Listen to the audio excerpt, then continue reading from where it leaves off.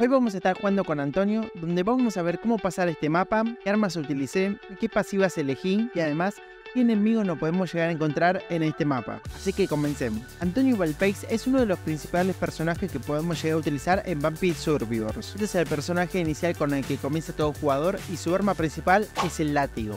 Tiene una bonificación pasiva que comienza con más 20 de salud máxima y más 1 de armadura. Podemos llegar a obtener un 10% más de poder cada 10 niveles hasta llegar al nivel 50. Es decir, el máximo poder obtenido de esta manera es de un 50%. Mapa. Mapa que vamos a estar viendo hoy es antiguo archivo o biblioteca. Y vamos a tener un límite de tiempo de 30 minutos, donde en cada momento van a estar apareciendo diferentes tipos de enemigos que después más adelante lo vamos a estar viendo. Este mapa es la segunda etapa de Vampire Survivors, que puede llegar a desbloquear llegando al nivel 20 del mapa anterior que es Bosque de Mente. Algo a tener en cuenta que debido al diseño del mapa, los enemigos van a estar apareciendo del lado izquierdo y del lado derecho, y a veces en multitudes pueden llegar a aparecer de manera vertical. Armas. El personaje utiliza armas para defenderse de los enemigos, y cada una de estas tiene su propia forma de hacerlo. La mayoría de las armas causan daños a los enemigos, mientras que algunas aplican desventajas a los enemigos o ventajas al jugador.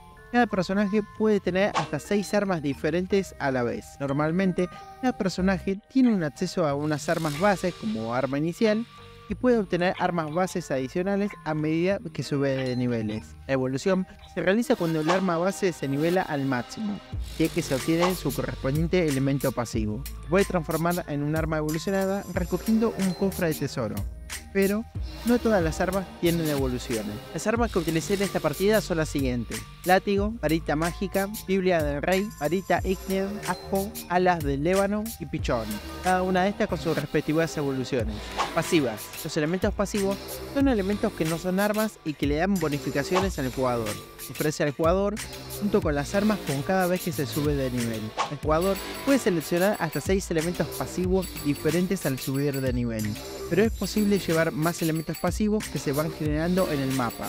La mayoría de los elementos pasivos deben desbloquearse antes de poder ofrecérselo al jugador. La mayoría de los elementos pasivos se pueden utilizar para evolucionar un arma normal a una más fuerte. Las pasivas que utilicé en este mapa son las siguientes. Espinaca, Corazón Hueco, Fumarola, Tomo Vacío, Candelabrador y Potencia Hechizo. Enemigos. Estos son los enemigos que nos vamos a estar encontrando en antiguos archivos. Elemental de Polvo. En este mapa solo aparece como jugador normal y como jefe. La salud de su variante de jefe se basa en el nivel del jugador. Aparece desde que inicia la partida hasta el minuto 4 aproximadamente. Bomba de sombra. Persigue al jugador a gran velocidad y tiene un ataque de autodestrucción que causa un gran daño. Suele aparecer en distintos minutos del mapa desde el inicio. Muro de Medusa. Invoca una línea de enemigos aleatoriamente desde cada lado de la pantalla. En cambio, el enjambre de Medusa solo aparece desde un lado. Momia. En este mapa solo aparece como un enemigo normal y aparece en diferentes momentos entre los minutos 3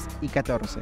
Más Este es un enemigo que aparece tanto como normal y jefe. Aparece en diferentes tipos de minutos desde el 2 al 17 aproximadamente. Fantasma. Solo aparece como enemigo normal. El fantasma sufre un retroceso reducido. Aparece entre el minuto 4 y 13 aproximadamente. Cabeza de león. Aparece como enemigo normal y como un jefe. La salud de cabeza de león se basa en el nivel de jugador. Su variante de jefe también es resistente al retroceso. Aparece entre el minuto 11 al 22. Bruja no muerta solo aparece como enemigo normal. La bruja no muerta sufre un retroceso reducido. Aparece entre el minuto 16 y 28. Bruja atrevida no muerta. Aparece como enemigo normal y como jefe. La bruja atrevida no muerta sufre un mayor retroceso.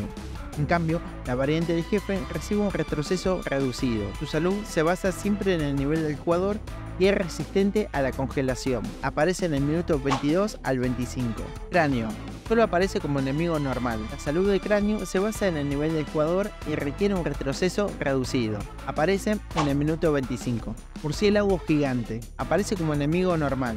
Sufre un retroceso reducido y aparece en el minuto 25.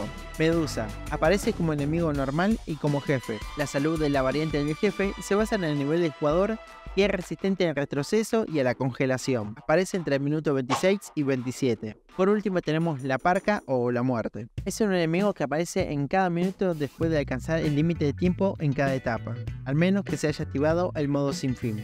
La parca o la muerte apenas aparece es muy probable que nos llegue a matar, pero hay una manera de poder derrotarla y poder jugar con su personaje. Pero eso lo vamos a dejar para otro video.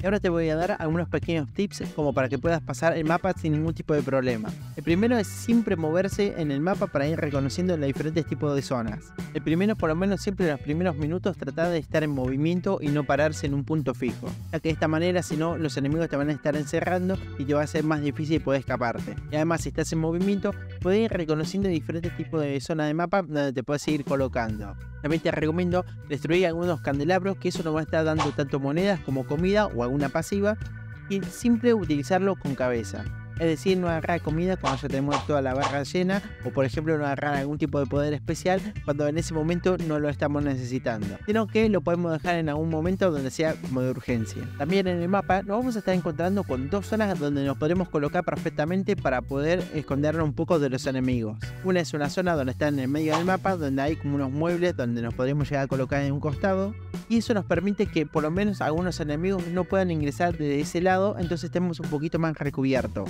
En esta zona, con estas armas que yo elegí, la verdad que me funcionó bastante bien. Pero hay una zona en la parte superior del mapa donde nos podremos llegar a colocar, pero la verdad que no me funcionó muy bien porque quedé un poco encerrado y a veces alguno que otro enemigo podía llegar a ingresar, por lo menos con estas armas que yo había elegido. Así que si llegas a utilizar este tipo de armas, la verdad no te lo recomiendo mucho y sí tomar la primera opción.